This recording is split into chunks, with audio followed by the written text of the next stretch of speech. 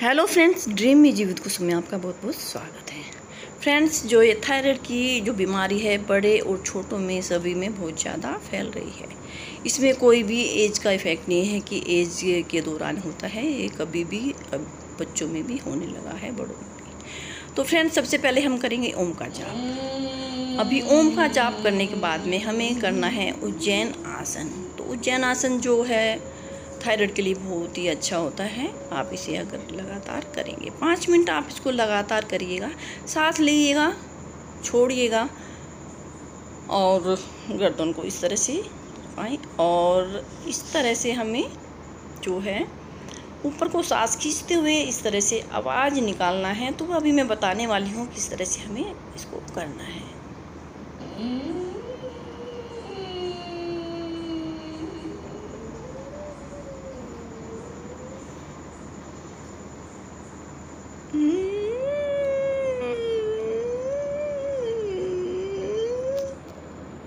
तो इस तरह से हमें करना है।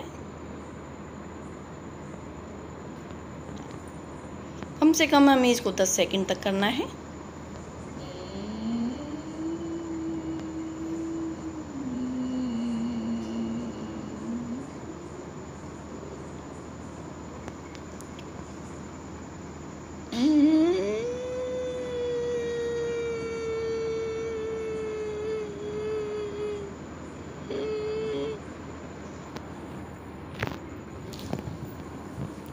ये है सिंहासन। तो फ्रेंड्स सिंहासन भी बहुत ही फ़ायदेमंद होता है। तो हमें सांस लेने की छोड़ना है और हमें इस तरह से जैसे सिंह की धाड़ होती है, ऐसे जीभ निकालनी है और उसके बाद में हमें सिंह की जैसे आवाज़ निकलती है, इस तरह से हमें आवाज़ को निकालना है। तो जो भी हमारे गले में खराश होती है और कई बार ऐसा होता है कि गले में अंदर बलगम अटका हुआ है। तो उससे क्या होता है, वो अंदर से हम इसको करेंगे खिंचाव तो खिंचाव आएगा और उससे वो निकलेगा। तो इसको हमें लगातार पाँच मिनट तक करना है। तो सभी आसन आप पाँच पाँच मिनट तक करें। अगर आप ज़्यादा भी कर सकते हैं, ऐसा कुछ नहीं है। तो कम से कम और फाइव बार तो ज़रूर ही करें।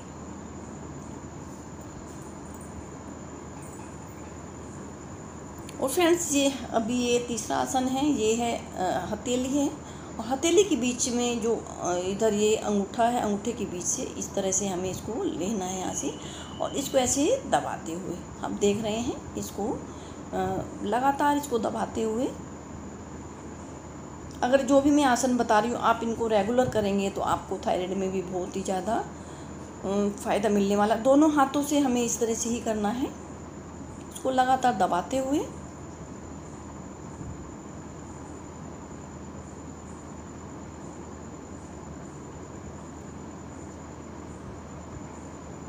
अच्छे से इसको दबाना है, बहुत अच्छे से, तरीके से इसको दबाना है।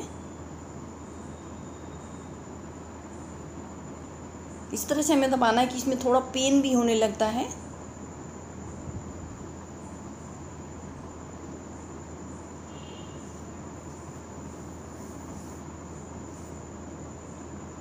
अगर फ्रेंड्स आप मेरे चैनल पर बार आए तो मेरे चैनल को भी सब्सक्राइब कर लीजिएगा। तो मैं अच्छी अच्छी वीडियो आपके लिए योगा की वीडियो लेके आऊँगी।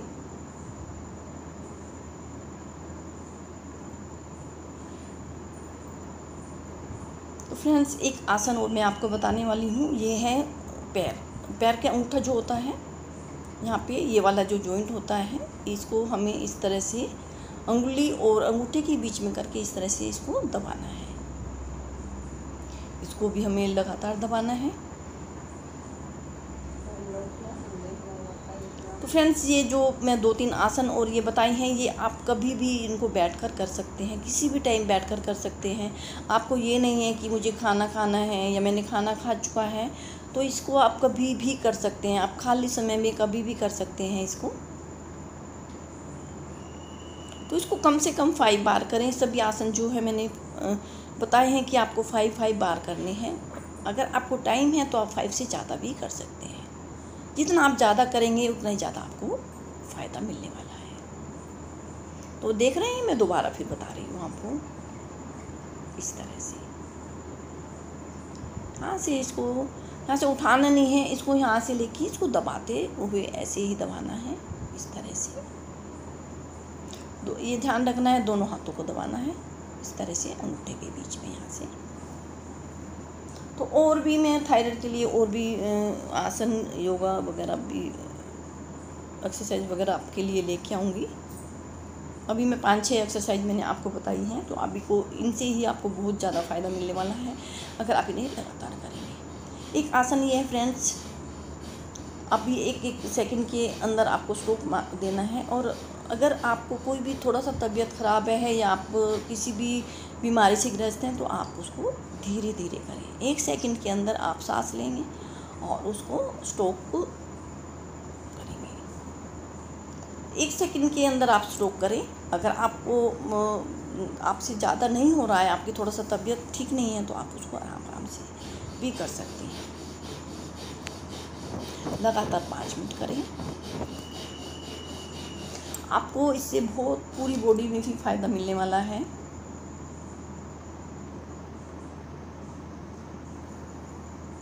जो हमारे अंदर का हम, कई बार ऐसा होता है, कोई उल्टा सीधा खा लेते हैं, जो उससे भी बहुत ही ज़्यादा, इससे एक्सरसाइज से बहुत ज़्यादा हमें को फ़ायदा मिलेगा। आप इसको इस तरह से लगातार करेंगे। ये किस तरह से है? दो सेकंड के लिए ऊपर सांस लेंगे, दो सेकंड के लिए सांस को रोक के उसको नाक के थ्रू छोड़ेंगे। तो ये भी हमें पाँच मिनट तक करना है। ये जो जो भी मैंने आसन बताए हैं, ये थायराइड के लिए बहुत ही अच्छे होते हैं। तो फ्रेंड्स हमारे जो आसन हैं, करे हो चुके हैं, अभी हमें करना है भ्रामरी तो सभी आसन करने के बाद में हमें भ्रामरी बहुत ही ज़रूरी है करना। तो फ्रेंड्स भ्रामरी करते समय आप एकमात्र बिंदु पर ध्यान रखें, या आप ओम का जाप भी कर सकते हैं, ओम भूर्भुव कर सकते हैं।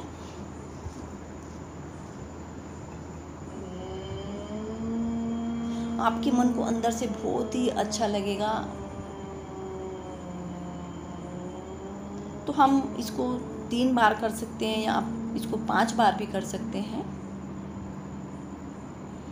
अब करेंगे ओम का जाप। तो फ्रेंड्स, सांस लेके ओम का जाप हमें करना है। ओम।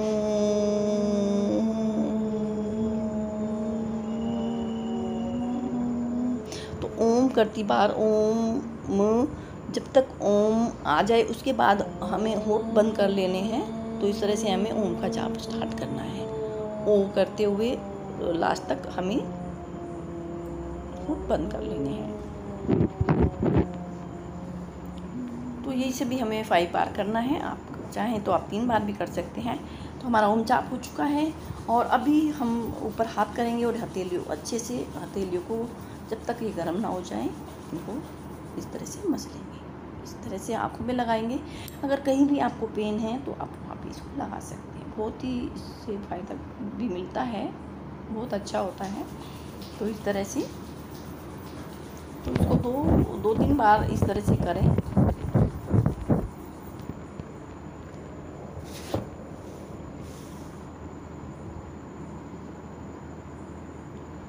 तो फ्रेंड्स हमारा ओम जाप हो चुका है।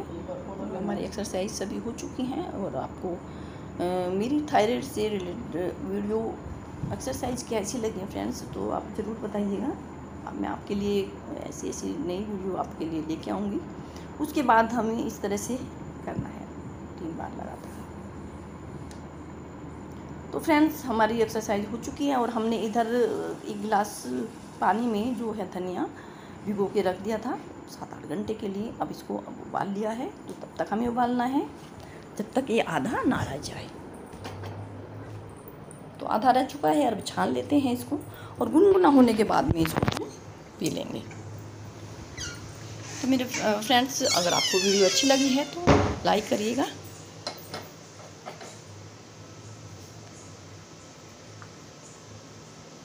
शेयर करिएगा और सब्सक्राइब करिएगा।